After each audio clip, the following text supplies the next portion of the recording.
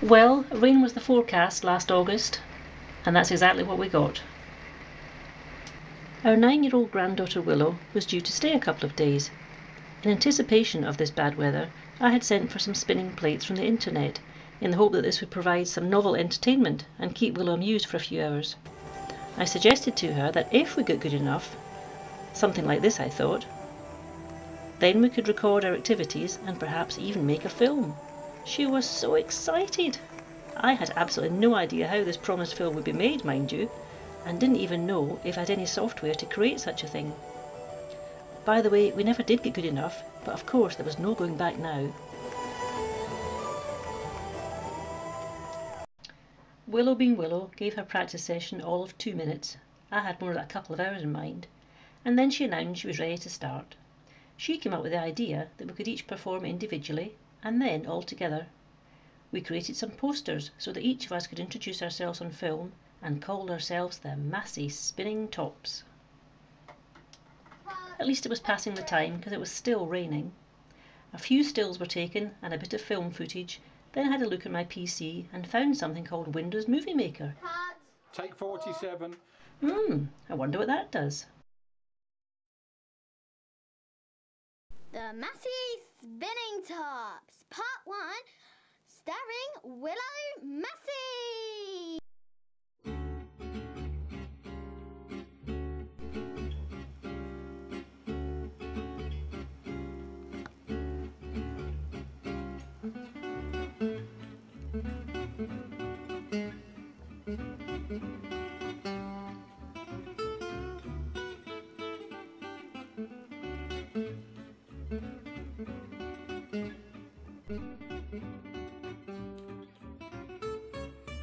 Okay, not great I know, but we'll have to start somewhere. At least I learned to upload film, make some cuts, add a bit of music. Um! Thank you for watching. By the next morning the weather had improved and we hired a boat and we cruised from Datchet to Maidenhead, taking the cameras of course. It was a wonderful day out. So within a few days I had made not one but two films. I was desperate to make another one soon. I made a further two films before becoming frustrated with Windows Movie Maker, particularly with the lack of flexibility when mixing music and the film audio. It seemed to be either one or the other or 50 50, which just wasn't enough.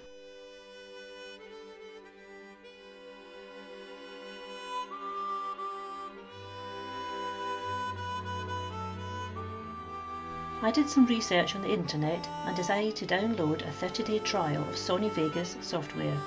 What a huge learning curve! I had no idea how to start.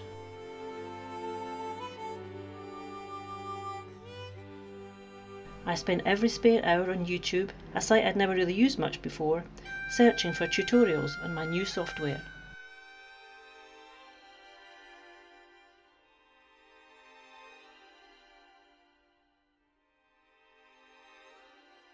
At around the same time, I was in the London Camera Exchange in Reading shopping for a monopod for our new HD camcorder. Whilst chatting with a sales assistant about my new hobby of film making, another member of staff approached me and handed me a leaflet for the RFVM. He had overheard our conversation and thought I might be interested in joining. He, Jonathan that is, told me that he recently had joined himself and that they were currently running a beginner's course. Wonderful! Help was at hand.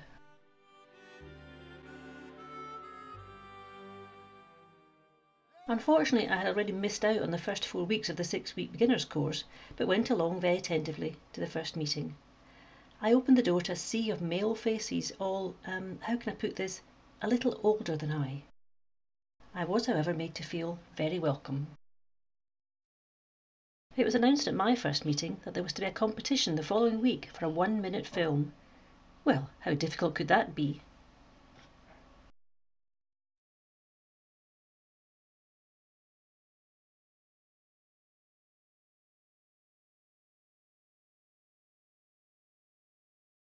No sound! It died a death. I was so embarrassed. How could this happen when my DVD seemed to work perfectly well at home? As I discovered later, successful DVD burning is a whole topic on its own. Here's what my film should have sounded like.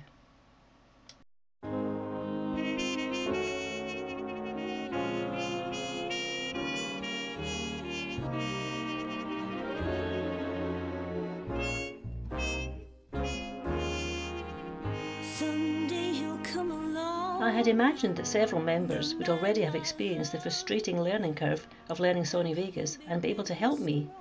What I found out, however, was that no one else was actually using it. Their reaction was more like, wow, that's a powerful tool, which I realise now that it is, but believe me, it almost went in the bin a few times. Coming up to Christmas, I also tried a little bit of green screen work. Well, actually, white tablecloth work, since that's what I used instead.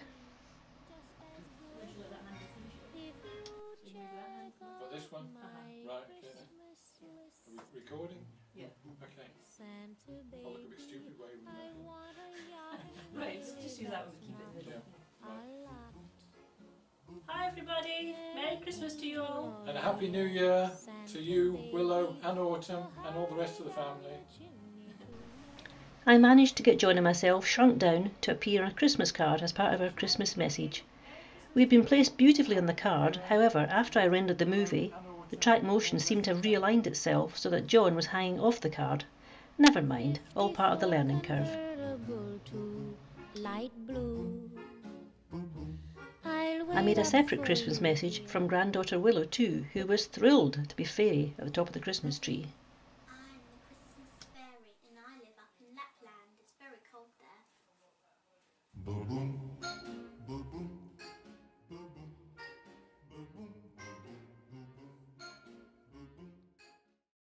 The next club competition in January was to be a documentary.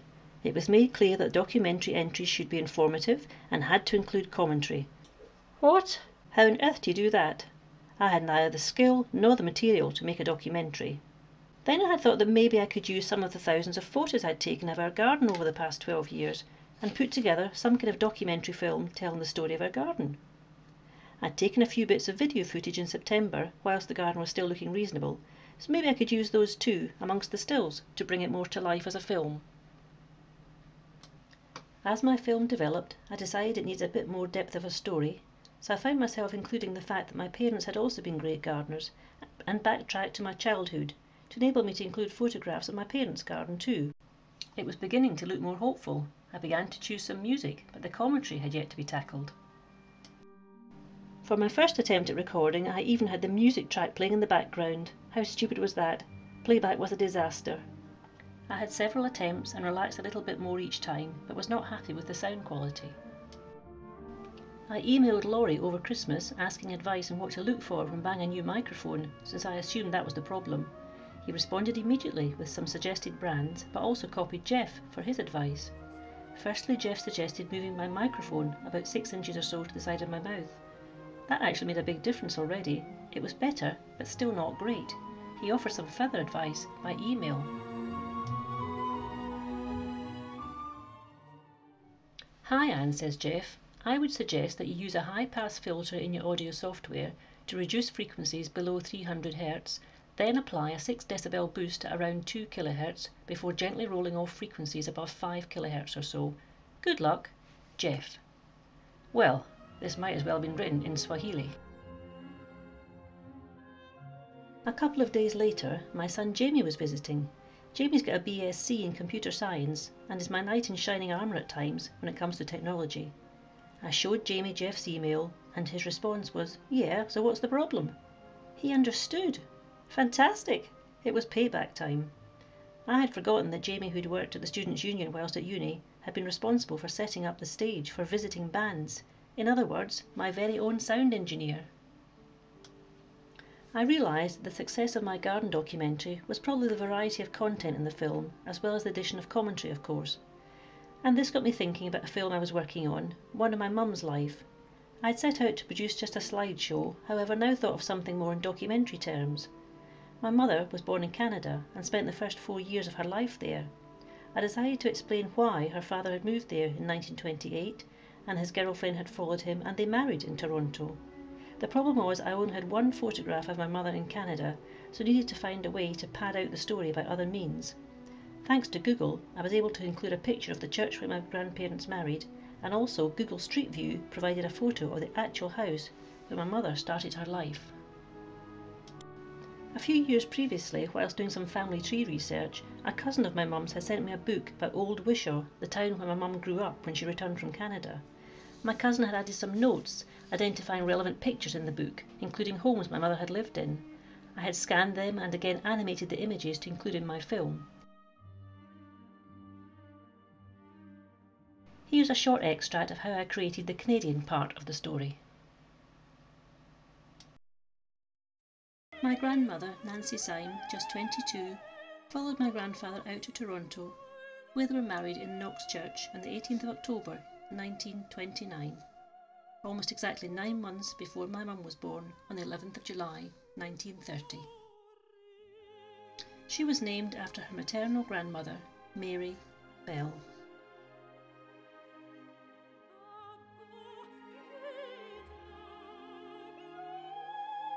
My grandfather found a job eventually as the caretaker of the apartment block in Essex Street, Toronto, where they were to live. Thanks to the wonders of the internet, this is how Essex Street looks today, with their house just on the left hand side. Five years after their arrival in Canada, however, it became clear to my grandparents that the depression they had hoped to escape from was also affecting Canada. With financial help from parents to pay their way back home, they made the decision to return to Scotland. My film, called Mum's Story, has been shared with as many family members as possible, as well as old school friends of mine who knew my mum, who died in 2006. A mixture of laughter and tears has been the feedback, including that from people who have never even met my mum. I take that as a compliment that the combination of film and music creates the emotion that I certainly felt whilst making the film. Had I not been pushed outside my comfort zone whilst making my garden documentary film, Mum's film would never have turned out the way it did. I have now made 27 films.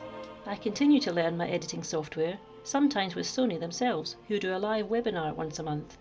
Last month's topic was compositing.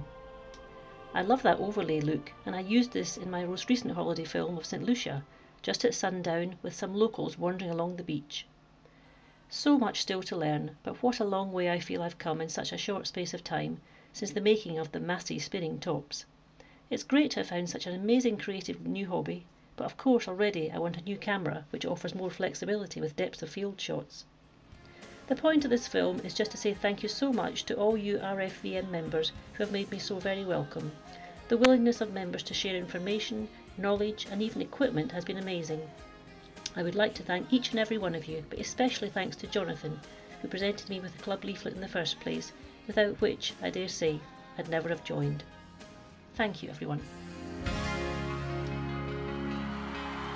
high.